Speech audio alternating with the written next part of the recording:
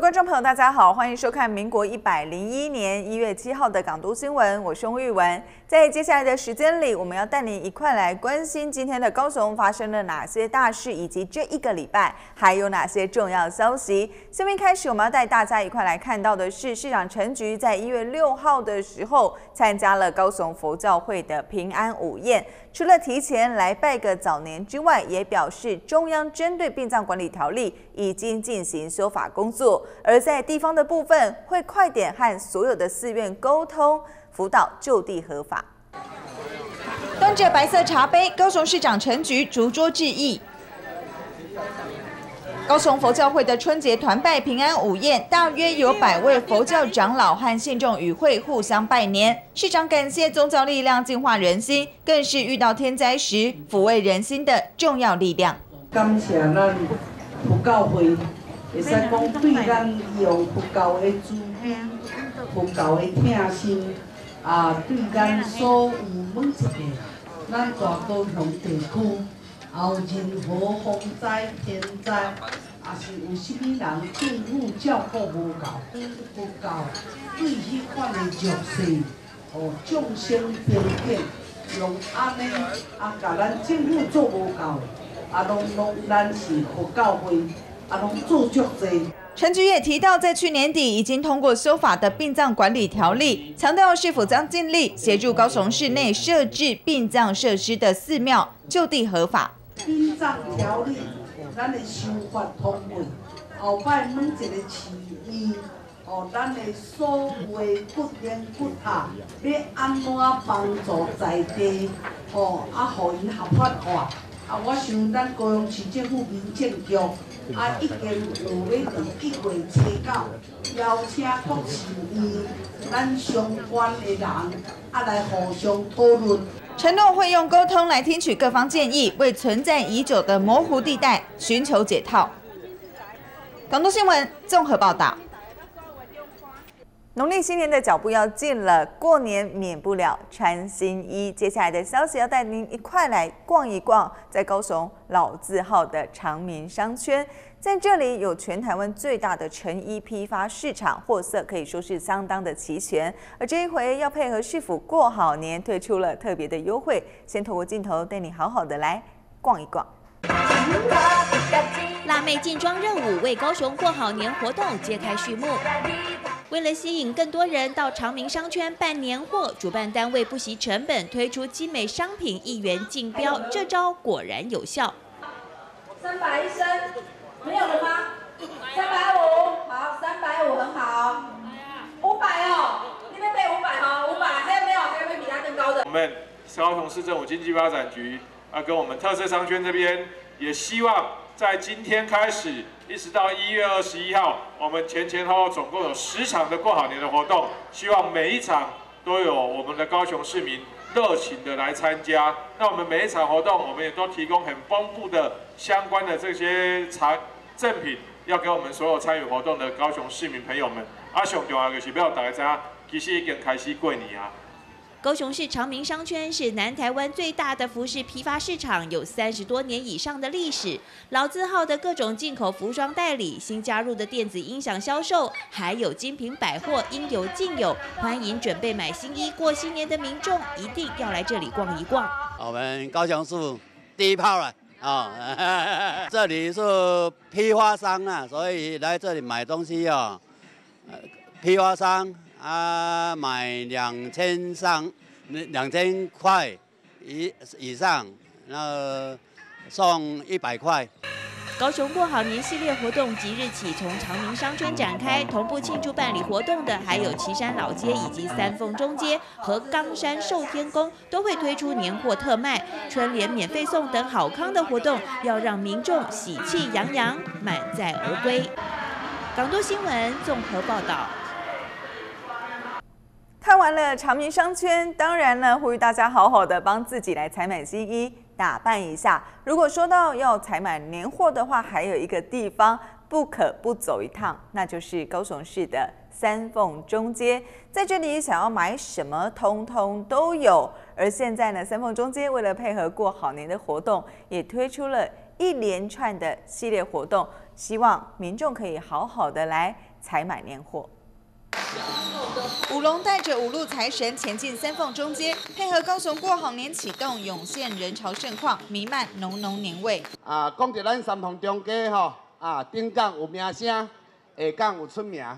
只要是咱高雄人拢知影，哦，过年要款年货，要买南北货，要糖仔饼，一定爱来咱三凤中街，遮上盖有过年的气氛。啊，咱遮的会员吼，啊，上届加文，要买啥物货，哦，咱遮拢总有。三二一，请启动！秀出吉祥话和各种年货，凸显三凤中街特色，主打年货食材最佳，采买地点。这个吼，今年过好年吼，阮准备足侪物件的吼，像咱买买个啦吼，买买这个年菜啦吼。啥物？你只要你要现食的，还是要等于个煮的，啊，我拢引流进油。年货大街启动造势，长长的人龙早已排队等着领春联。逛街前先讨喜气。新的一年，龙年行大运哦！啊，马来刚想迎接龙年到来，三凤中街要让市民用最经济的价格，年货需求一次满足。腾讯欧院朱雨红采访报道。新闻插播：迄一天，春娇甲志明小招来到爱河约会。远远志明看到春娇，一个欢喜就准备骑着伊的铁马，要来弄过双黄线，冲过马路。春娇看到志明为着要甲伊会当卡早相会，既然做出这样危险的动作，赶紧就来甲阻挡。拜拜拜，三二拜！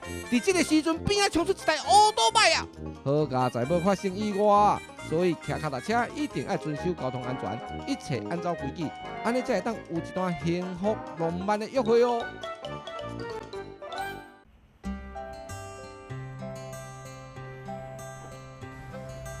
爸，我出去散步，运动一下。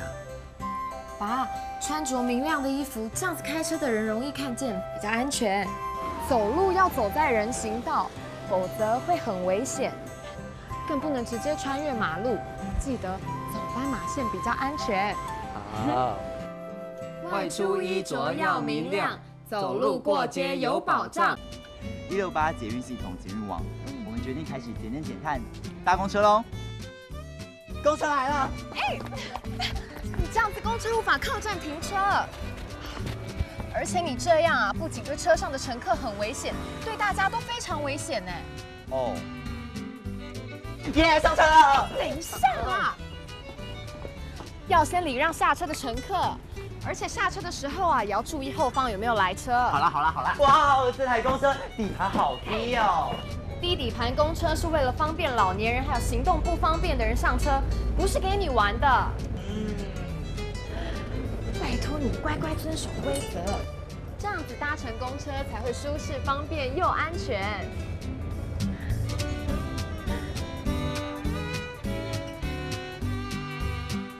试运之后，越来越多外国朋友来高雄旅游。今天带你去认识一位金发美女。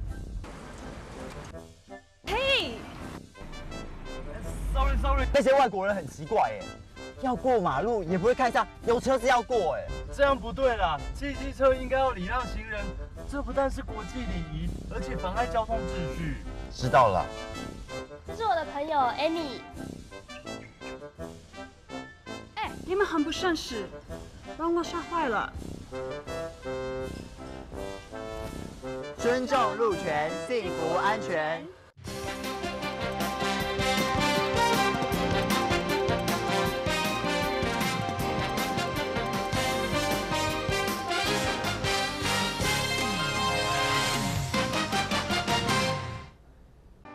幸福高雄从社区出发，感受在地人对社区营造的付出与热情。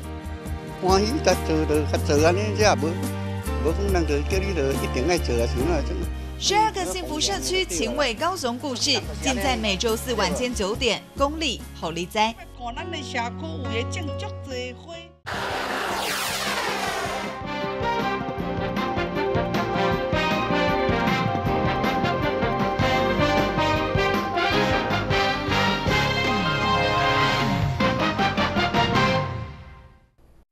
迎回到最在地的港都新闻，我是玉文。在广告回来之后，我们要带你来关心一周的新闻回顾。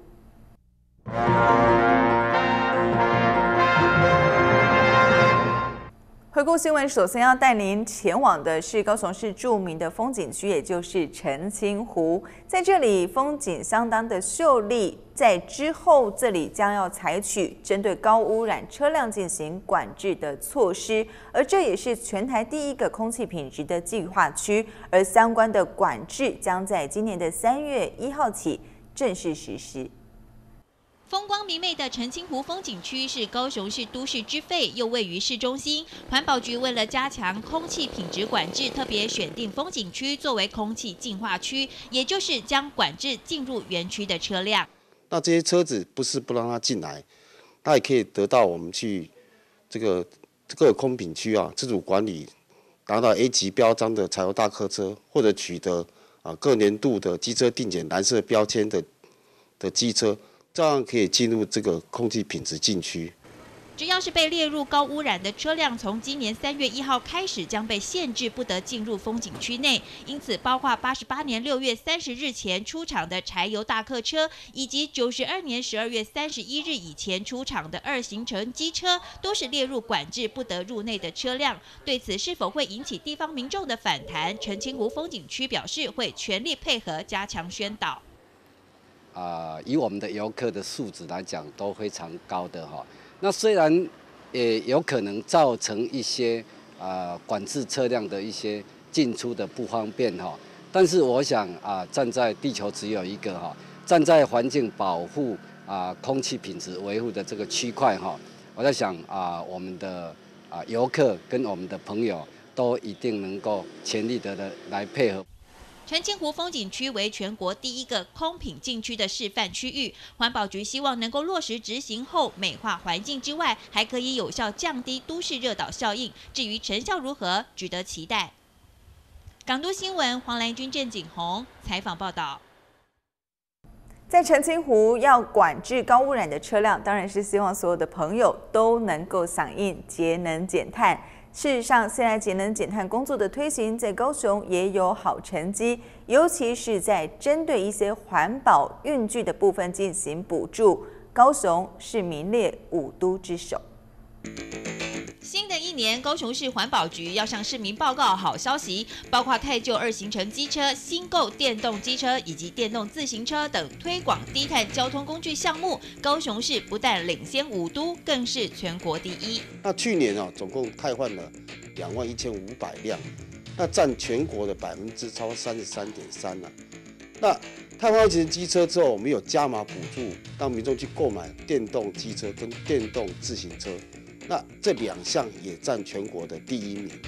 因为有民众的踊跃参与，让高雄市迈入低碳城市行列距离更近。为了鼓励更多人响应推广低碳交通工具，环保局今年除了在捷运沿线设置三十个电动机车电池交换站之外，民众换购电动机车也可以获得加码补助。那针对那些加入电动机车电池交换系统的部分民众，我们会再加码，除了有环保署补助。工业局补助及环保局的补助以外，只要参与电动机车电池交换系统，高雄政府再加码一万两千五百块，所以这个这个价格是非常的诱人的，所以可能只要花花到不到一万块就可以使用电动机车，还可以使用这个电动机车交换平台。全新的电动机车将可以用不到一万元就买得到，这么优惠的消息，难怪环保局用秒杀来形容民众的询问度。想要加入节能减碳、爱地球的行列吗？不妨从使用低碳交通工具开始做起。港都新闻黄兰君、郑景宏采访报道。艺术家詹福云在台湾的画坛中占有一席之地，而他后期的作品大部分是以油画为主。事实上，詹福云曾经因为受到二二八事件的迫害，隐姓埋名，而改用胶彩来创作。高美馆为了要来呈现詹福云的绘画人生，计划在三月份来测一档的展览，是针对詹福云艺术生涯。现在对外发出希望可以协寻的消息，目标要针对詹福云早期的胶彩作品。这一幅是画家詹福云在一九六二年用胶彩创作，荣获台阳美展省教育会奖的《赤山》。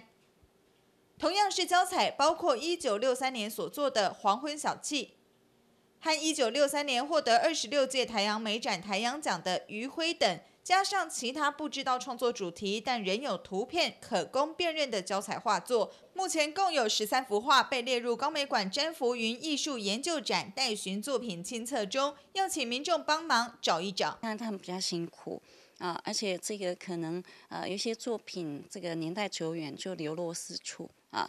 那在这个状况之下，那个我们当然手手中有相当不错，已经有很不错的典藏，不知道有没有可能透过这样子机会啊找。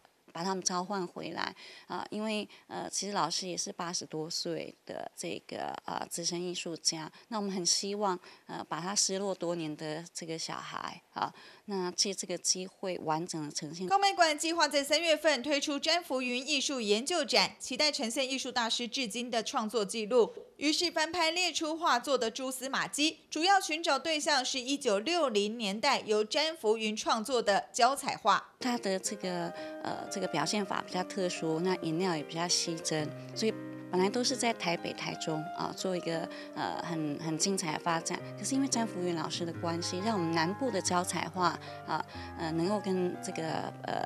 呃，台北、台中做串联之外，形成完全不一样的景观。它走的就是重彩，然后形同这个油画的这样的发展。而且因为它的呃这个参与，呃，造成了这个南部整个教材体系的可能，而且落实在教育上。即使在今天，詹福云以油画成为台湾名家，失落的胶彩画像是詹福云艺术研究展中一块早期拼图。高美馆发出协寻讯息，希望有机会在展览中。再看到对詹福云也意义重大的胶彩画作。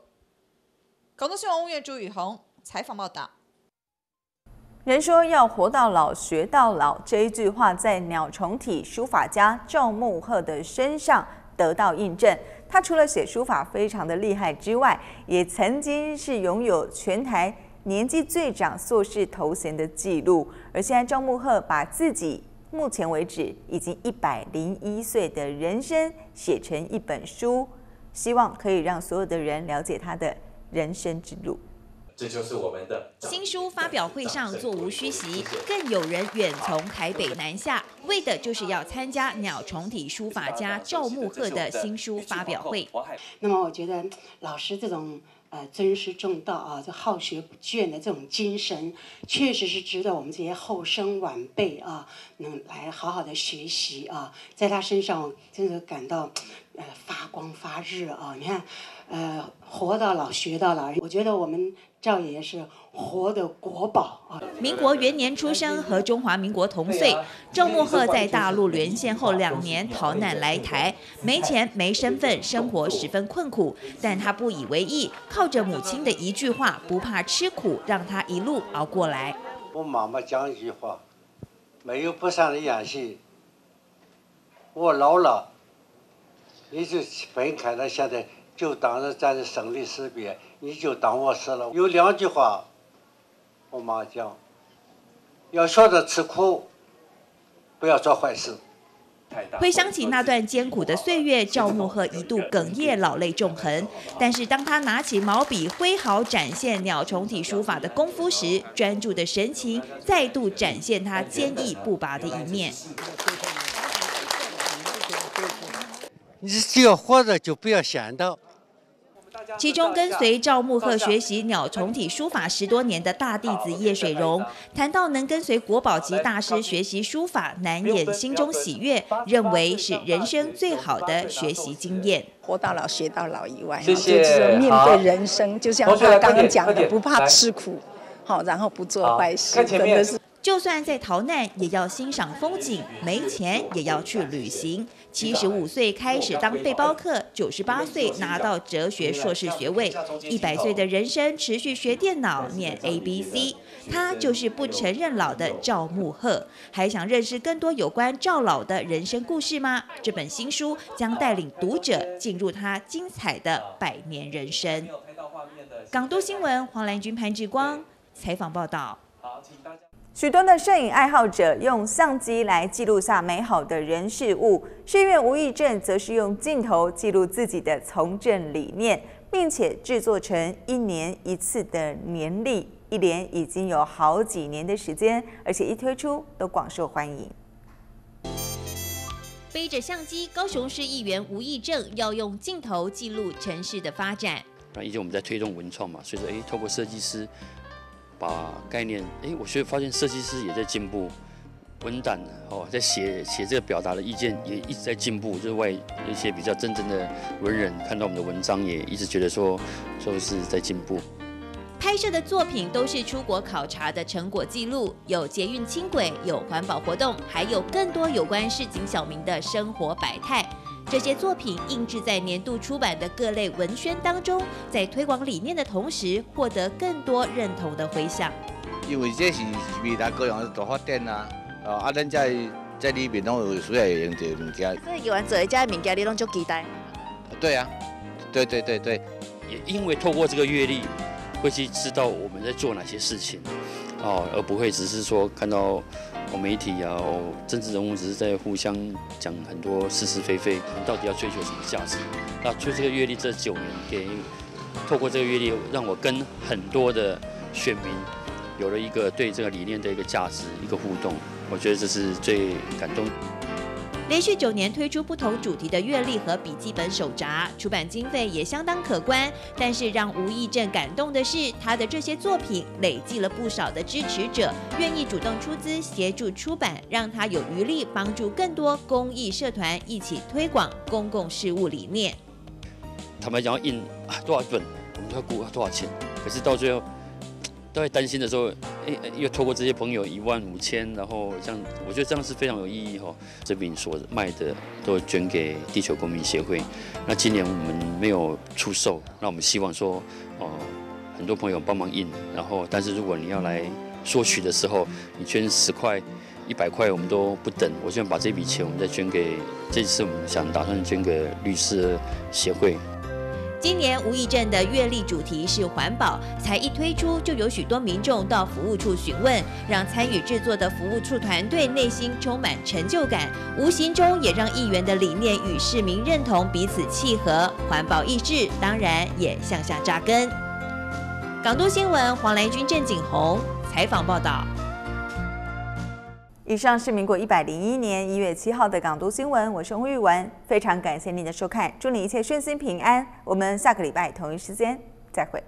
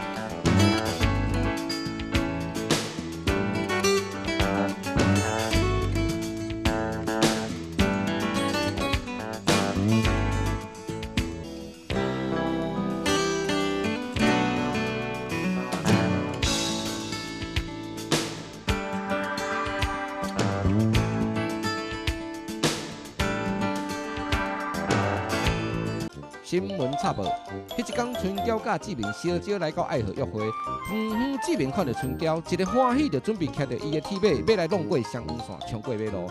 春娇看到志明为着要伊会当卡早相会，既然做出这样危险的动作，赶紧就来甲阻挡。拜拜拜，三二拜！伫这个时阵，边仔冲出一台乌多拜啊！好佳在要发生意外，所以骑脚踏车一定要遵守交通安全，一切按照规矩，安尼才会当有一段幸福浪漫的约会哦。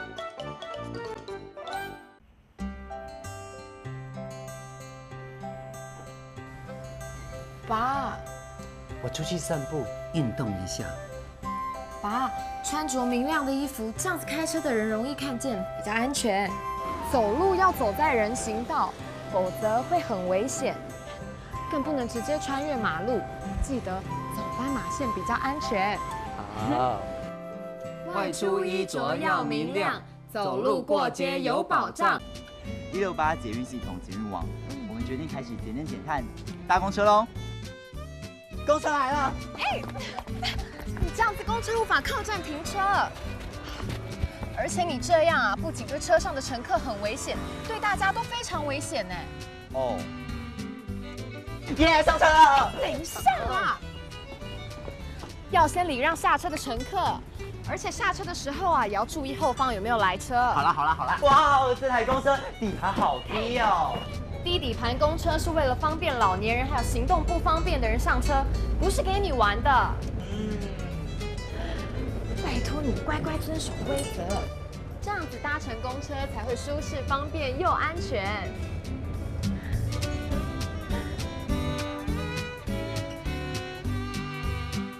试运之后，越来越多外国朋友来高雄旅游。今天带你去认识一位金发美女。嘿，sorry sorry，那些外国人很奇怪耶，